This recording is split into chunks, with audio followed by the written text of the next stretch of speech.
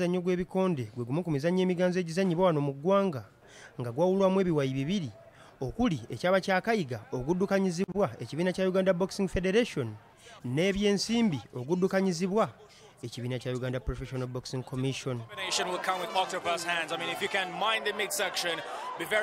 Olwaleero ekibiina kya uganda professional boxing commission kitongoza olulwana wakati wa munnayuganda kenny ruchams ono ng'amanyikiddwa nga de mexico ng'attunka ne shikadi makawa okuva mu ggwanga lya malawi.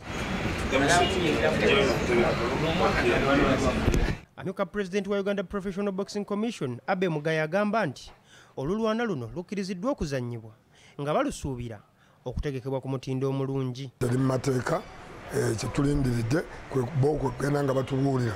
Kiki wawe batuuse kikye beetaaga eri ffe okubayambako byebyokka byetusigaliza naye nga fight eri sanction era twabawadde obuvunanyizibwa okugenda mu maaso. Enteeka eno egenda kwekanako neyebweru gye mulaba bulabi ku tv abaana ba tyson fury ne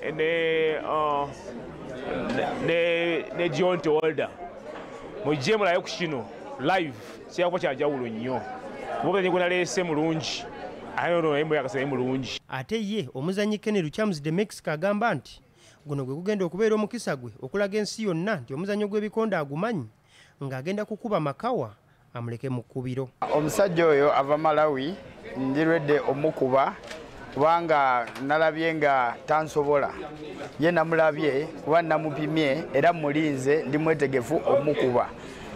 Era nninda bulinzi deeti na lunaku kubanga ngenda mukuba olulwana luno lusuubirwa okuzannyibwa ng'ennaku z'omwezi abiri mu mwezi gw'omukaaga nga terugenda kubeera lwa musipi. Beka resabula bbs terefayina A ka